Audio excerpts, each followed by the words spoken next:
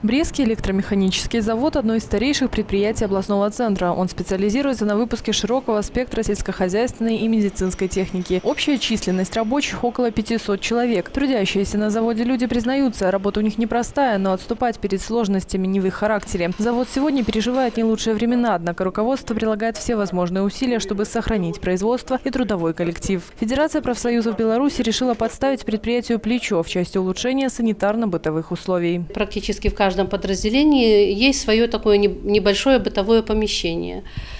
Но, конечно же, в силу э, экономических таких трудностей, э, многие годы эти помещения, естественно, пришли в такое не совсем приглядное состояние.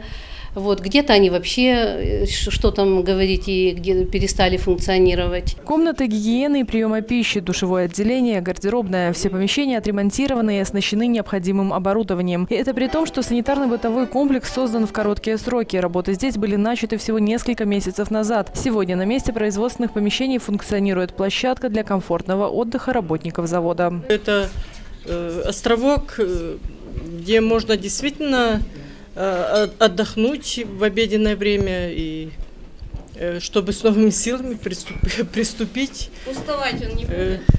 Э, нет, я думаю, что нет, что всегда найдется найдутся желающие, и коллектив у нас не маленький, чтобы нам еще хватило здесь места. Вообще великолепный подарок от профсоюзов.